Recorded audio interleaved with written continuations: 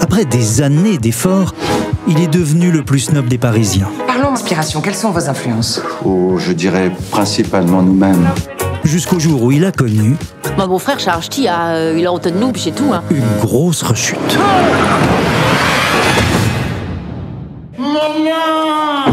Oh, je suis content de te dire, hein Vous voyez, il ne s'exprime pas encore bien normalement. Mais chez qui Beaubourge qui parle pas normalement? Je suis là pour vous aider à perdre ce vilain accent. Hmm, On ouvre la mâchoire. Là. Là. Comme euh, lapin. Lopin. Un lopin? Hein? On va commencer plus simplement. Hein. Qu'est-ce que c'est? Un lopin? Non, un lièvre. Un lièvre. Très bien. Euh, non, vrai. Vrai, vrai. Une taube. Là. Je s'en fous de la couleur? C'est le nom qui veut. Vous allez répéter après moi. E A-E-I-O-U. Et oh, oh. Non. Il n'est en possession que de deux voyelles, hein. I et O. Ça va être compliqué là pour lui de s'exprimer.